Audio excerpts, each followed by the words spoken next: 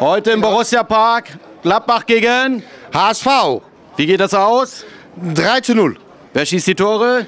Äh, Ruhl Brauers, dreimal. Super. Super.